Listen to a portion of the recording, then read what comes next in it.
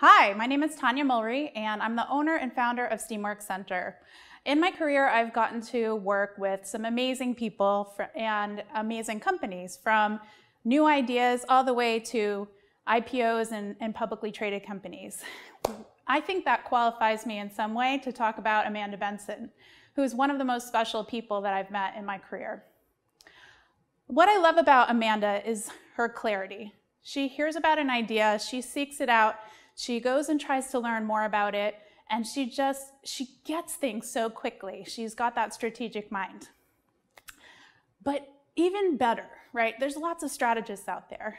What is even better about Amanda is that she then has the driving desire to get to the right strategic direction and then get down to work. She's got that discipline and drive to get the work done.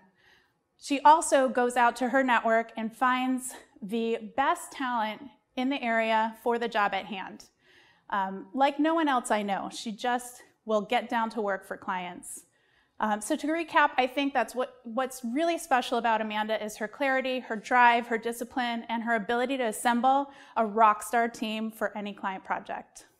I'm Tania Mulry, founder and CEO of Steamworks Center, and I'm happy to recommend Amanda Benson for any project that you might have for her.